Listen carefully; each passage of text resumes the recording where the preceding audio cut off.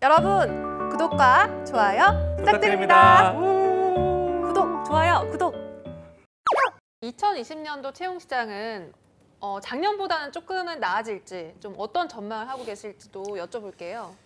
뭐 나아질 것 같진 않아요. 제가 볼 때는 작년 2019년 정도 하반기 수준이면 선방한 게 아닐까 생각이 아, 들고 네. 사실 지금 1월 달, 2월 달이 그 채용팀 입장에서는 그 상당히 예민한 시기거든요. 왜냐하면 음. 임원 인사가 보통 이제 지난달, 그러니까 작년 12월 달에 발표가 나고 네. 회사가 굉장히 어수선, 어수선한 상황에서 그 인사 부서의 임원의 소위 입김이나 드라이브에 따라서 상반기 채용 인원도 이제 결정이 되고 음, 네. 그리고 가급적이면 채용 인원을 아마 회사에서는 지금 줄이려고 할 거예요. 어. 그 밀당이 있거든요. 각 부서에서는 뭐 소위 이제 죽는 소리 하죠.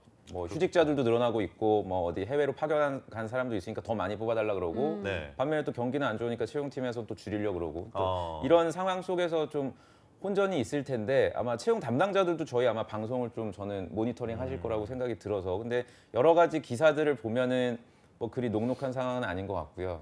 대표적으로 그 롯데그룹 같은 경우에는 예, 예, 예. 직접 그 신동빈 회장이 인사 권을 저 잡았더라고요. 칼을 막 예, 그 유통 예. 쪽은 아예 지금 뭐 채용을 상당히 어렵게 많이 줄이고 어. 이러다 보니까 문과분들은 더 쉽지 않은 상황으로 좀 흘러갈 것 같아서 어. 조심스럽게 더 많이 뽑는 데는 제가 볼 때는 어, 없을 것 같아요. 어. 네, 작년 정도 수준으로만 유지하는 것도 음. 우리 시청하시는 구직자분들한테는 좀 희망적이지 않을까 쪽문이다라는 말씀. 네, 생각이 열린. 문이 아니라 네. 열린 문이 돼야 될 텐데 기찬 네. 쌤도 마찬가지로 좀 쪽문이다라고 생각하시는 거예요? 좀 경기는 좋은 뭐 말씀 해 주시면 안 될까요? 계속 안 좋고요. 그나마 좀 노려볼 예, 만한 예. 부분은 이제 투자가 많아져야지 결국 일자리가 늘어나니까 네. 어제 뉴스에서 이제 자율주행 우리나라도 2단계까지 3단계 뭐 이 정도 네. 단계 레벨을 좀 더 낮춰서 규제를 풀겠다 이런 음. 정책들이 나오고 있으니까 자동차 부품 쪽에서는 전장 쪽 채용이 좀 많아질 거예요. 그리고 그 전장이라고 하면은 모듈 패키징만 보지 말고 그 자율주행 관련된 칩사 설계하는 그런 판교에 있는 기업들도 있거든요. 그래서 네. 그런 틈새들은 조금 좀 열리지 않을까.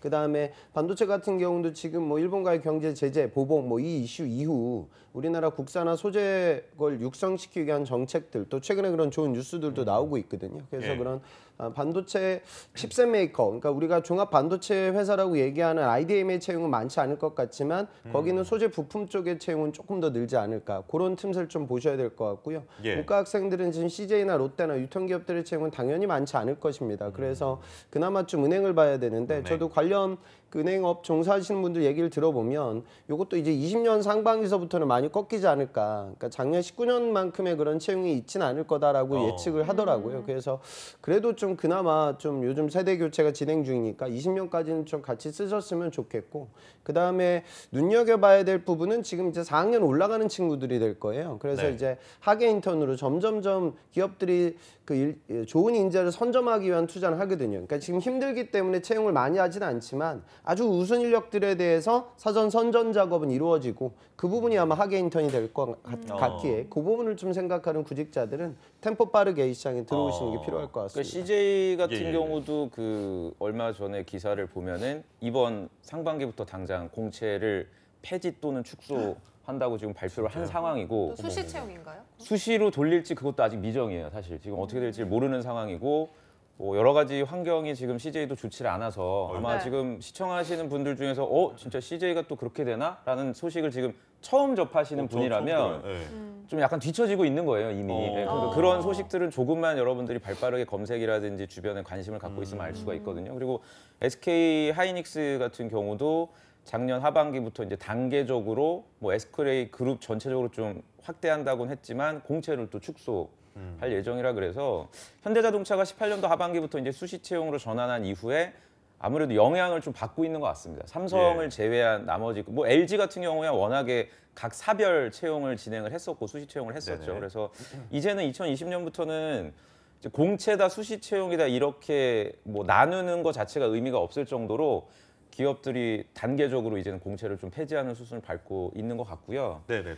좀 전에 이제 기찬 쌤이 현대자동차의 그 투자에 대해서도 얘기를 잘 해주셨는데 음. 그 저도 이제 그 기사를 봤는데 뭐 연간 20조를 투자하고 한 네. 50, 5년 동안 뭐 100조를 투자한다고 해요. 근데 그게 채용까지 소위 이제 낙수 효과로 이어질지는 저는 좀 미지수라고 봐요. 채용으로 이어지더라도 아마 대졸 채용이 아니라 뭐 석박사 인력 채용이라든지 지금 뭐, 예- 뭐 언급하셨던 인턴이나 어. 산학장학생이나 이런 식으로 먼저 선점해야 되는 인력까지는 확대가 될 수는 있겠지만 당장 졸업을 앞둔 공채 우리 대부분의 구직자분들까지 일자리가 돌아오기 저는 쉽지는 않을 거라고 생각이 아, 듭니다. 근데 변수가 그거잖아요. 올해가 총선해다 보니까 네. 총선 시즌에 조금 일자리가 좀 늘어나는 측면이 있지 않냐. 이 부분에 대해서는 어떻게 좀 관측을? 저는 전혀 무관하다고 봅니다. 아, 그 예, 총선과는? 총선 하고는 별로 예. 그렇게 관, 그 관련성을 갖기는 좀 음. 어렵다고 보고 그- 그렇게 연관성을 가질 만큼 기업들이 어 뭐 호탕하게 일자리를 제공해 줄 만한 여유가 지금 있어 보이진 아, 않습니다. 네. 당장 뭐. 네. 기찬 쌤은요? 그 저는 일부 영향이 있다고 봐요. 음. 그러니까 대기업들 같은 경우에는 준사자 준- 이번 총선 4월이기 때문에 네. 공채가 이제 3월에 이제 오픈이 되겠죠. 그래서 예를 들어 3월에 또 뉴스가 나올 때 이번에 뭐 상반기 공채 대기업 뭐 취업 대폭 축소 뭐 이런 것들이 또 여당 입장이나 정부 입장에서는 조금 부담 부담스러울 것 같긴 해요. 그래서 네. 분위기 조성 차원에서는 공고는 나올 것 같은데 음. 제 추측에는 공고는 나오는데 실제 채용 인원은 많지는 않겠죠. 그래서 음. 그런 식의 채용이 흘러가지 않을까. 그 다음에 중요한 건 이제 우리 하반기 가 될 것 같은데 총선 지나고 나서는 아무래도 더 힘들어지지 않을까. 경기가 좀 뒷받쳐 주지 않으면 실적이 기업들의 실적이 음. 다시 반등하지 않으면 하반기가 조금 더 좀 흐린 날씨가 되지 않을까. 저는 음. 오히려 그렇게 좀 생각하고 있습니다. 네. 예. 아니 이렇게 배틀 키워드 들어가기도 전에 네. 두 분의 의견이 이렇게 팽팽히 맞섰습니다. 이제 본격적으로 배틀 키워드 함께 보시면서 어, 진행을 해보도록 하죠. 첫 번째 배틀 키워드 함께 확인해 보시죠. 네. 네. 첫 번째는 수시 채용 가속화란 키워드입니다. 수시 채용 전환 가속화란 키워드인데요. 먼저 민혁 쌤은 어떻게 이 예상을 하시는지. 당장 피부에 와닿을 만큼 뭐 무자르듯이 우리는 없앤다, 뭐 존속하겠다 이렇게 가지는 않을 것 같고 다만 그각 사별로 또는 몇 개 직무별로 별도의 그 수시 채용을 진행할 거라고 저는 생각이 들어요. 다만 이제 삼성처럼 거의 천 단위 이상의 대규모 채용을 하는 특수한 케이스를 빼고 삼성전자겠죠. 삼성전자를 제외한 다른 회사들은 아마도 그 단계적으로 수시 채용으로 이제 변화를 네. 줄 거라고 생각이 듭니다. 따라서 근데 이거는 여러분들이 너무 겁내실 필요는 없을 것 같아요. 워낙에 문과생들 같은 경우에는 뭐 수시 채용이다 공채다를 나누는 게 무색할 정도로 채용 규모가 적었고 예. 이공계 분들도 사실상 반도체 분야나 몇개 사업을 빼고는 채용 규모가 예전처럼 많지가 않기 때문에 네. 뭐 언론에서 그 보도되는 뭐 수시 채용이 이제 뭐 시작이 됐다 공채로 뭐 채용이 뭐 규모가 줄어든다 이런 거에 대해서 너무 네. 크게 그 영향을 받으실 필요는 저는 없다고 봅니다. 걱정하지 말아라라는 네. 말씀. 그러니까 걱정하지 말라는 게 예, 다 같이 힘드니까. 아. 저는, 예. 뭐 예를 들어서. 전화기라고 해서 뭐 기계과나 화공과 학생들한테는 굉장히 뭐 맑고 그렇지 못한 비 그 이공계 특수 전공자들한테는 흐리고 이런 게 아니라 음. 전부 다 일자리가 굉장히 줄어드는 상황에서는 결국 내가 노력한 만큼 결과가 나오는 거니까 어, 그 부분에 있어서 너무 그 겁내실 필요는 미리 어, 없으실 것 어차피 같아요. 모든 사람한테 동등하게 적용된 게임의 음. 룰인 것뿐이니까 네. 알겠습니다. 기찬 쌤은요? 그 기업에서는 정규 공채는 좀 과거의 채용 프로세스이기 때문에 우리는 우수 인재를 미래 인재형으로 선점하기 위해서 수지 채용을 한다라고 얘기하지만 네. 제가 보기에는 그렇게 평가하진 않고요.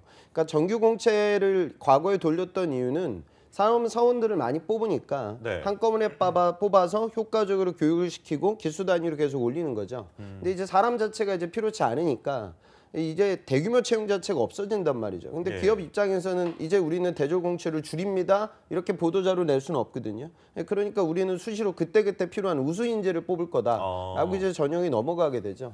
그럼 여러분들한테 미치는 영향은 첫 번째는 당연히 들어가기는 어려워지는 게 첫 번째고요. 두 번째는 뭐냐면 수시 전형을 이제 돌리게 되면 또 그럴 때가 있어요. 그러니까 특수부서에서 정말로 필요한 친구들만 뽑게 되면 그러니까 지금 제가 보기에는 올드루키들이 제일 대기업에 다시 들어가는 데 있어서 본인의 경력을 다 버리고 다시 신입으로 시작하는 데 있어서 힘들어하는 부분은 인적성 시험 같은 어떤 절차들, 그러니까 이런 전술적인 부분들이 약해서 올드루키들이 또 걸, 걸러질 때가 있는데 네. 수지 채용이 좀 본격화되고 더 다원화되게 되면 능력 위주 채용을 하게 되니까 그런 신입 사원들이 공부하는 인적성 뭐 이런 것들의 비중이 좀 줄어들 가능성이 커요. 예, 그렇게 되면은 진짜 old rookie들이 조금 더 더 많이 그러니까요. 취업이 되는 그런 영향을 좀 미치게 돼서 일반적인 여러분들 일반적인 대졸 신입 사원을 준비하는 여러분들 입장에서 좋아질 건 저는 하나도 없다고 판단됩니다. 그리고 그게 이제 네. 뭐 예전에 그 2014년도로 제가 기억을 하는데 삼성이 이제 추천 채용을 진행을 했다가 그러니까 특수 몇 개 학교에 이제 그 TO를 할당을 해서 진짜요? 네. 삼성도 그런 게 있었나요? 있었어요. 근데- 기억나요. 저는 네, 약간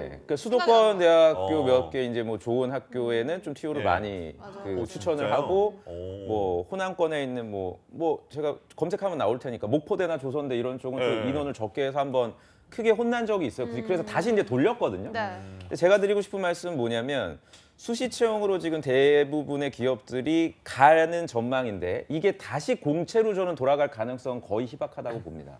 왜냐하면 제도를 시행한 다음에 그 수시 채용으로 입사한 사람들이 현업에 적응을 잘해서 성과를 내는지를 갖다 또 모니터링하고 트래킹을 한단 말이에요. 그렇겠죠. 네. 제가 볼 때 제 주변에 그 올드루키로 들어가신 분들 보면 물론 이직이 잦으신 분들도 있지만 네.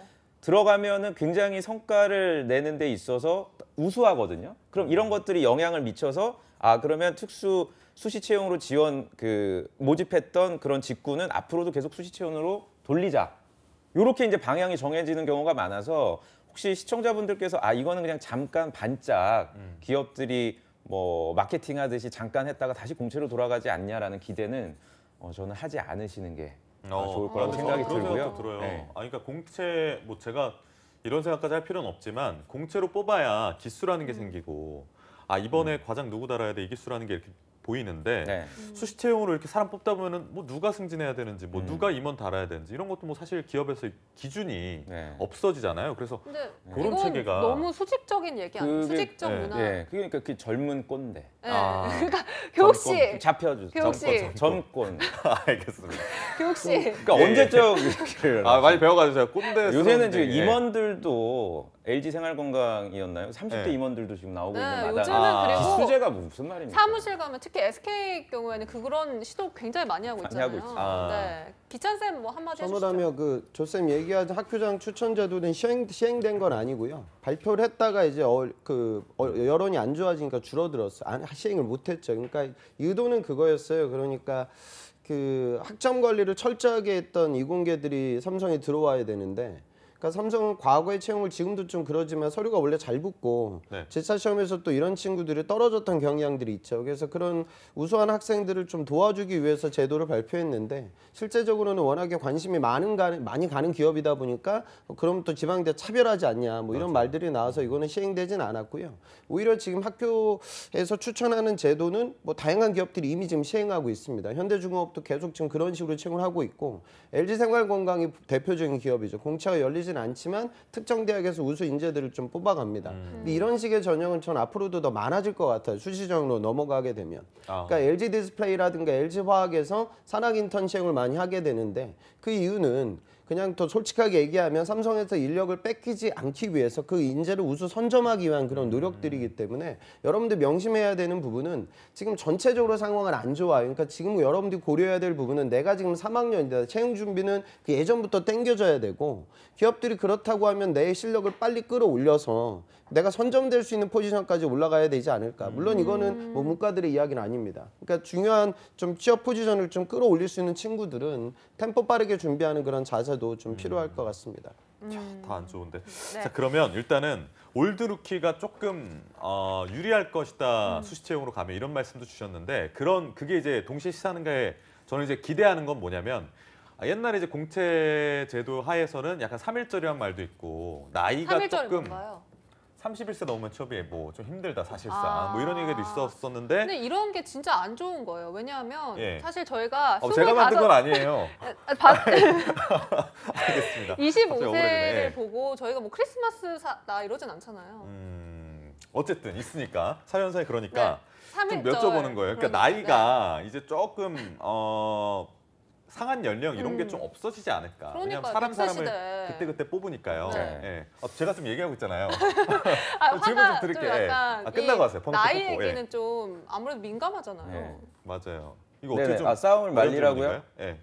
두 분의 싸움을 말리라고 하잖아요, 자식들께서. 아재 어떻게 싸웁니까? 그 2017년까지는 제가 방송에 나와가지고 30대도 상관이 없다 네. 이제 이런 얘기를 했던 기억이 있는데 그때는 그래도 뭐 채용 규모가 지금보다는 많을 때였던 것 같고요. 지금은 저희 같은 이제 전문가들이 나와서 취업이 어렵다 힘들다 이런 얘기들을 뭐 저뿐만이 아니라 다른 전문가 분들도 계속 하실 거예요. 네, 그러시더라고요. 그러다 보니까 이제 구직자들도 미리미리 이제 그거를 예감해서 그런지 참 준비들을 잘합니다. 그래서 나이가 뭐 어린 친구들, 그러니까 지금 2020년도면은 여성분들 기준으로 97년생 분들이 이제 97년생. 본격적으로 뛰어들거든요. 97년생들이 남자분들은 95년생. 구호. 야. 네. 근데 예전 같으면은 이렇게 나이가 좀 어리신 남자 기준 26, 여성분들 24, 23 이런 분들이 정말 준비가 안 된 이력들이 많았는데 네. 지금은 아주 빼곡합니다. 대외 활동부터 시작해서 뭐 어학 점수 인턴 다시 말해서 이런 분들이 이제 입사를 하다 보니까 네. 지금 아까 네. 언급하셨던 뭐 3일절이라든지 소위 나이가 많으신 분들까지 돌아가는 경우가 많지 않은 것 같아요. 저도 주변의 학생들 보면 나이가 어, 정량적이진 않지만 면접장에 가서 그 면접관 입장에서는 뭐 비유가 제가 적절하진 않을 수도 있는데 굳이 내가 이 상품을 사야 되나? 라는 아, 고민을 하는 거죠. 이왕이면 이왕이면 준비가 잘 돼 있는 어. 최근 졸업한 친구들이 있는데 예전 같으면 이제 준비가 안 돼 있었기 때문에 비슷비슷하면 그래도 뭐 좀 나이가 어느 정도 있어서 사회 생활하는데 좀 적응할 수 있는 뭐 20대 후반이나 30대 한번 뽑아 뽑아보자 그랬는데 지금은 음. 네네네. 굳이 그렇게까지 할 필요가 없을 어. 정도로 그래서 타이밍이 상당히 중요해졌어요. 음. 그래서 제가 굉장히 돌려서 3분 동안 떠들었는데 봅니다. 어, 나이 네, 나이 부분을 지금 보고 있어요 기업들이. 네. 네. 음, 알겠습니다. 기찬 기찬 쌤. 쌤도 네. 어떻게 생각하시죠? 나이를 안 보는 데도 많죠. 그러니까 지금 음. 공기업 파업은 공기업은 끝까지 블라인드 처리가 실제로 되고 있고요. 어. 은행도 네네네. 뭐 최종까지 나이 안 보이거든요. 그러니까 블라인드 전형이라는 어떤 이런 채용 프로세스의 변화 때문에 나이에 대해서 불이익을 얻지 않을 친구들도 생길 거예요. 근데 이제 민간 기업들은 이게 많이 좀 보인단 말이죠. 음. 그래서 그 부분을 좀 고려해야 되는데 제가 보기에는 그래요. 그러니까 저, 공채가 아주 대규모로 이제 흘러갈 때는 면접관에서 만나는 팀장들이 여러분들에 대한 의사결정 판단을 할 때 이 친구가 뭐 예를 들어 이공계 같은 경우에는 우리 부서에 올지 안 올지 알 수도 없어요, 사실은요. 그래요. 근데 이제 그러네요. 수시적 넘어가게 되면 무슨 문제가 터지냐면 정말 음. 우리 부서에 막내가 필요해가지고 뽑을 때가 있거든요. 네. 예. 그러면 이제 그 해당 그룹장 입장에서는 자기 팀의 막내가 누군지도 알고 그쵸. 뭐 이제 나중에 뭐 진급해야 될 이런 부분들도 고려해가지고 또 채용을 할 수밖에 없거든요. 음. 예. 그런 좀 불이익도 생길 수 있어요. 그러니까 음. 결론적으로 그 구직자들은 그렇게 보세요. 그러니까 나이가 많아진 그 이유에 대한 설명이 중요한데, 그러니까 지금 대부분의 청년들은 절반은 그래요. 그러니까 정말 나에게 그럴 이유가 있어요. 뭐 고시를 하다가 실패를 했거나 예. 집안 사정이 너무나 어려워서 내가 가게를 이끌기 위해서 아르바이트를 단연간 진행을 했거나 근데 대다수의 이 구직자들은 그냥 막연한 불안감이라든가 미래에 대한 대한 뭐 나, 내가 과연 무슨 일을 해야 될까 뭐 이런 음. 시간들이 너무 기- 지연이 많아져 가지고 채용이 좀 늦어진 친구들이 있어요. 그러니까 네. 그 친구들이 그 임- 임원분들이 현실주의자이기 때문에 그럼 너는 그 시간 동안 무슨 일을 했냐라는 공격을 많이 받게 되죠. 그래서 우선은 그걸 좀 생각하세요.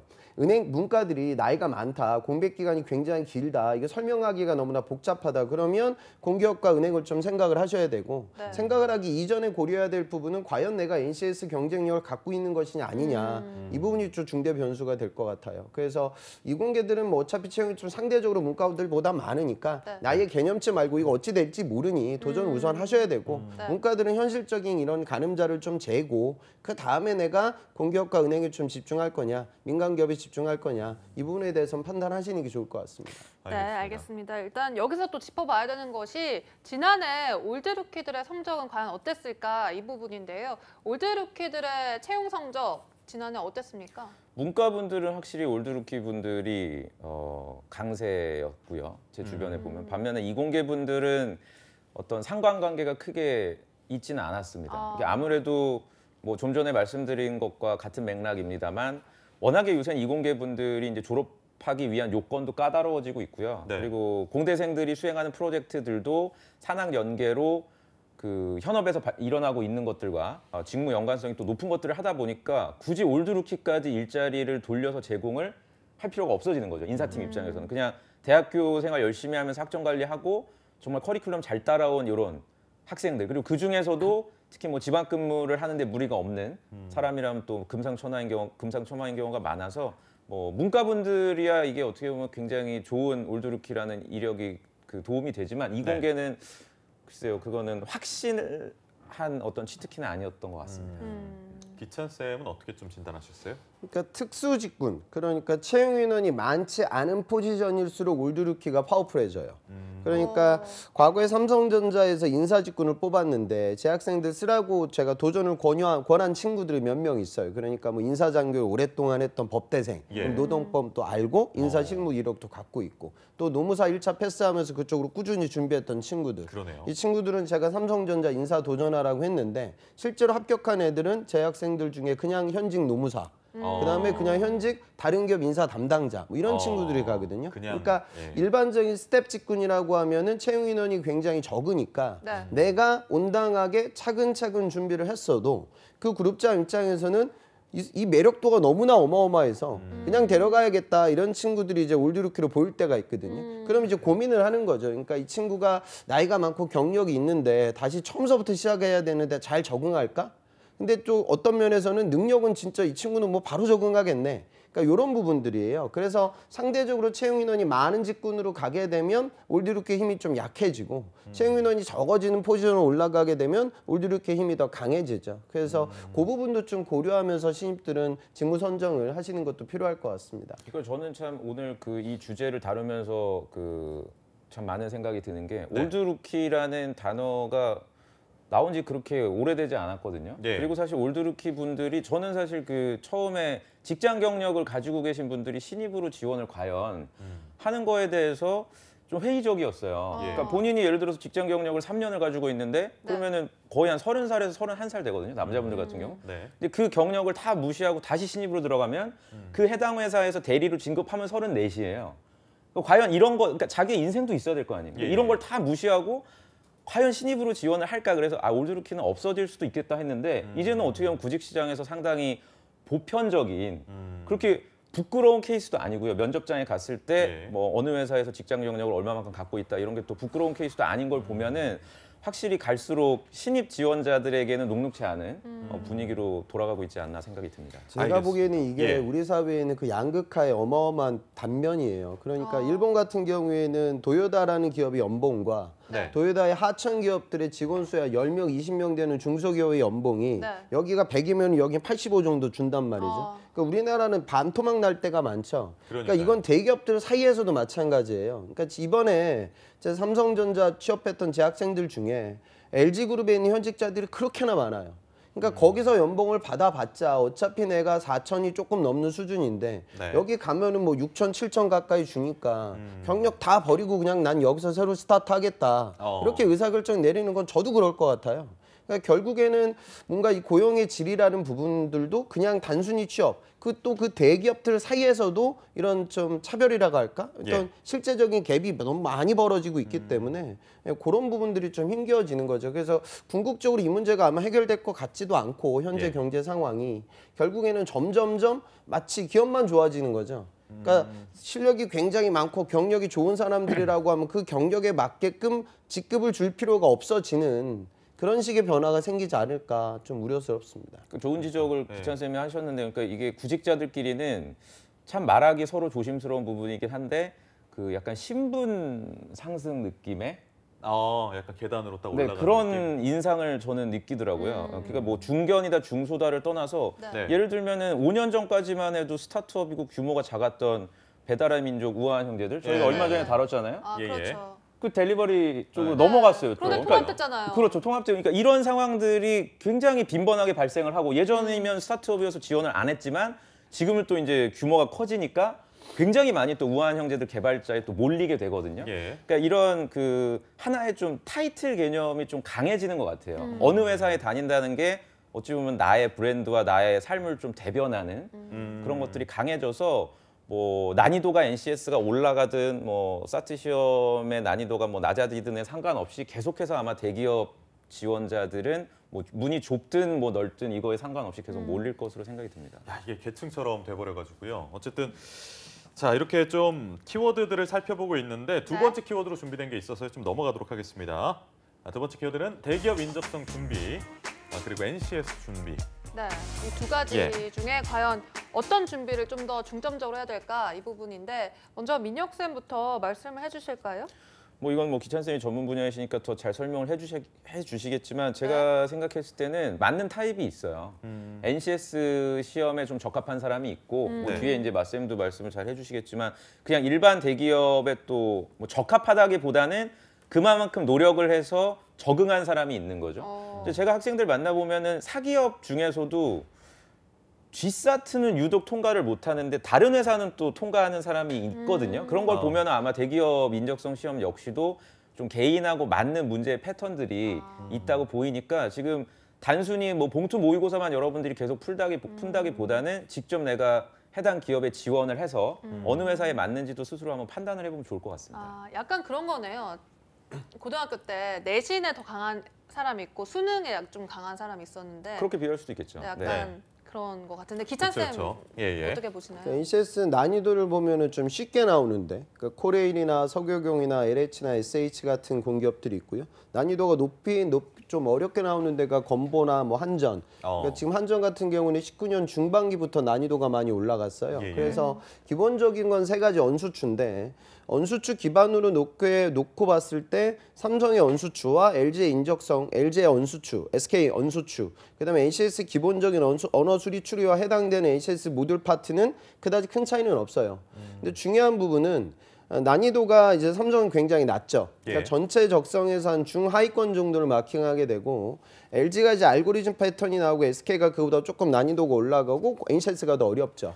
그래서 본인들의 패턴은 그래요. 그러니까 기본적으로 대기업 적성을 잘하는 친구들은 NCS도 잘합니다. 네. 근데 이제 중요한 거는 이 지문의 길이라든가 난이도가 더 딥하죠. 그러니까 G샷은 굉장히 짧고 예. 그리고 문제 유형이 이미 정형화돼 있다는 특징이 있습니다. 그러니까 민간 기업에 진행되는 적성 파트는 유형 변화가 별로 없습니다. 근데 NCS는 연구소를 계속 바꿔주고 있기 때문에 이번도 한전도 연구소가 바뀌면서 시험 문제 패턴이 완전히 변형돼서 많은 학생들이 어려움을 겪었어요. 예. 그래서 실제적으로는 투자는 NCS가 더 많아지고 공부를 한다고 해서 올라갈 수 있는 그 빈도 상관성을 따지고 보면은 사- 대기업이 더 쉽죠. 그러니까 유형 변화가 별로 없으니까. 그러니까요. 그래서 본인이 나한테 맞는지 안 맞는지 그 유무를 좀 보고 예. 공기업이 탈출구가 되는 것이 아니라 이게 나한테 기회가 될 거냐 위협이 될 거냐 하는 개인 성향 차이가 있기 때문에 본인의 NCS 경쟁력과 적성 경쟁력을 따져 보셔야 돼요. 그래서 지금 학생들은 어떤 식으로 준비하라고 제가 좀 권하냐면 우선은 난이도가 쉬운 것부터 시작 하는 게 좋으니까 질서술 우선 시작을 많이들 하고요.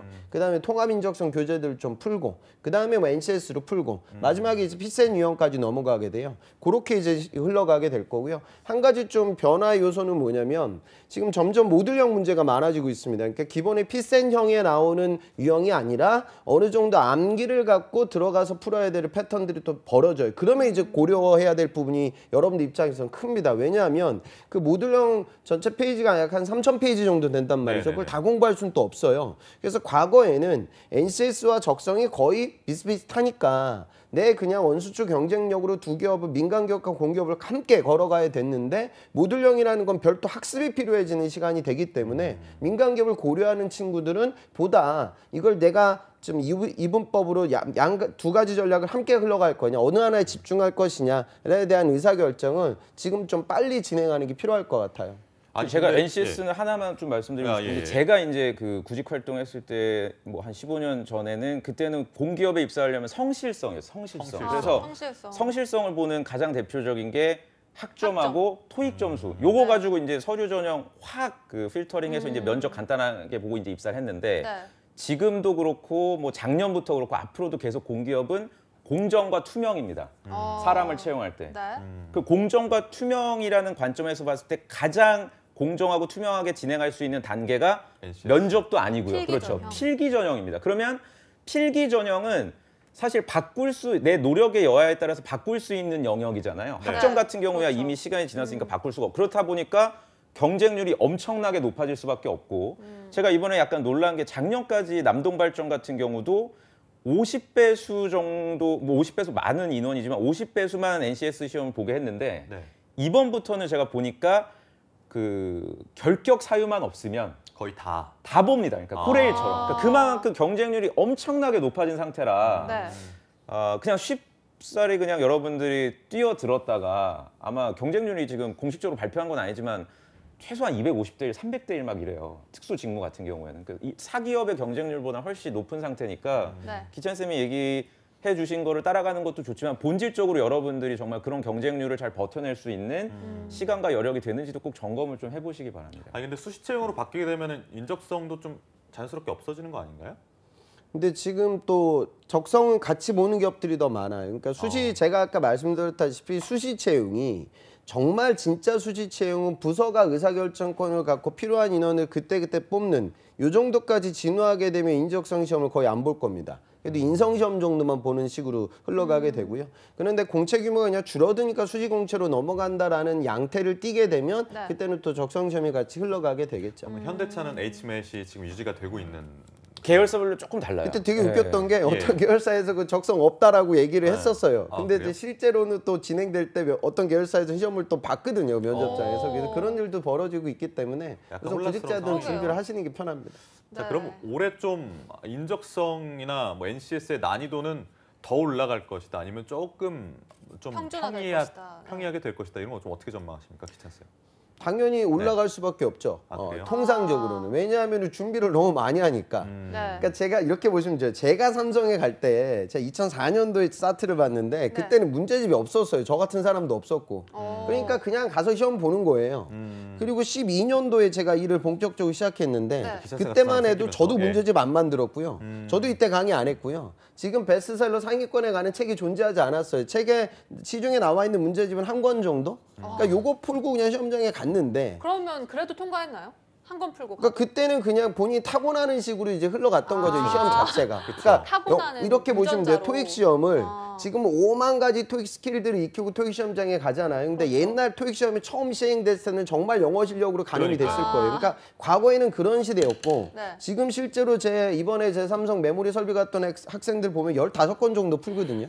그러니까 이 정도까지 풀고 실제로 시험장에 가요. 음. 그러니까 당연히 실력들이 좋아지고 있기 때문에 변별력을 유지하기 위해서는 그리고 그러네요. 더 중요한 게 뭐냐면 네, 뭔가요? 예를 들어 사트의 난이도가 이 정도면 NCS 난이도가 그보다 훨씬 어려워요. 네. 근데 과거에는 많은 학생들이 이걸 공부하지 않고 그냥 사트 공부만 했는데 이제는 무조건 공기업이다 공기업이다 이런 추세가 강하기 때문에 원래 공기업 가기, 가기가 그렇게 어려움에도 불구하고 친구들이 하니까 이 공부를 같이 하는 친구들도 이 지금 취준생들 사이에 굉장히 많아요. 그래서 제가 보기에는 전체적으로 저는 강의하면서 느끼는 건데 점점점 학생들의 언수추 능력이 올라가고 있고 그러니까요. 아마 대학생들을 대상으로 취준생들을 대상으로 IQ 테스트를 하면 우리나라가 전 세계 탑일 거예요. 다 셜록 홈즈 뭐 이런 이상한 나라예요. 예. 그러니까 뭐 그런 부분들이 있, 기 때문에 고려해가지고 저더 어. 열심히 준비하셔야 됩니다. 현실은 그렇습니다. 알겠습니다. 민혁 쌤또 네. 덧붙이실 말씀. 아니 저는 뭐 다 같은 의견이 그냥 불쌍해요. 요새 구직자들 보면은 참 맞아요. 노는 구직자들 없이 참 열심히 뭐 자기 소개서 얘기하면 또 오늘 시간 다 갈 것 같은데 맞아요. 자기 소개서도 정말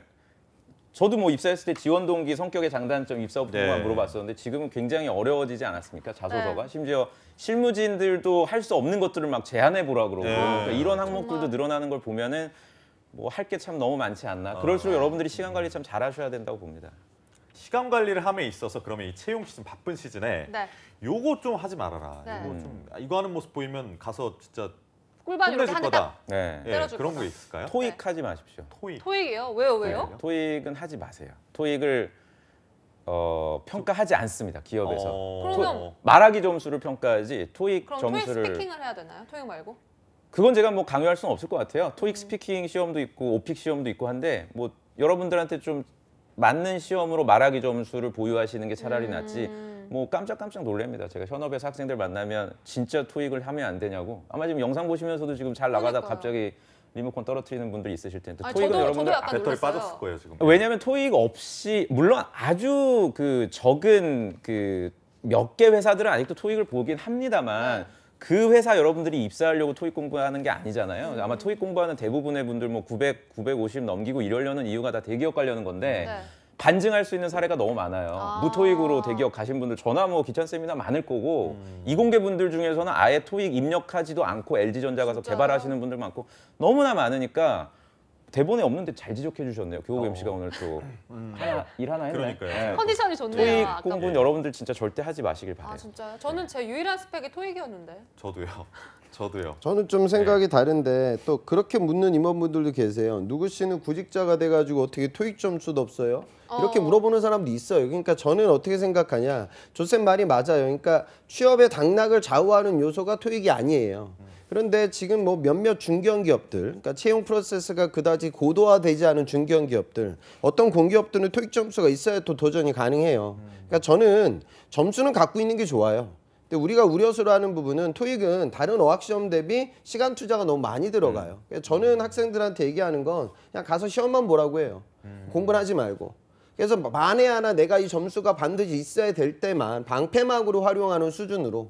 그다음에 공격적인 부분은 스피킹으로 어. 이제 이게 단계 취득이 가능하니까 그 범용으로 제일 많이 파워풀하니까 네. 그렇게 조금은 좀 치환해서 생각하는 것도 필요할 것 같습니다. 그 토익을 높이기 위한 시간 할애를 하지 말라는 얘기였습니다. 저도 아, 그냥 일요일 날 아침에 자빠져 자지 말고 예, 예. 가서 시험만 보고 와. 아, 아, 그게 나온 게 700이면 그대로 적어서 내면 되고 예. 어, 신발 칠- 사이즈 나. 700이자. 그런 아, 피곤해. 있겠죠 많이. 네네. 네. 네, 그러니까 750인데 아 이거를 한 번 더 봐서 800으로 올릴까? 음, 이번 달에는 그냥 무조건 토익만 하자 이렇게 접근을 하지 하지. 마시기 그냥 바랍니다.